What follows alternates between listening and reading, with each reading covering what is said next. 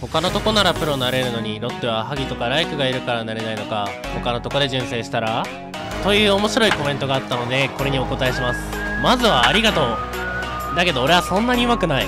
というかプロスピは競技じゃなくて単純にゲームとして楽しんでるのでこれからもリアタイは楽しくやっていきます。でもなんだかんだ猛者に打ち勝つのって結構楽しいんでこれからも頑張ってたくさん猛者倒していきたいと思います。ということで対戦よろしくお願いします。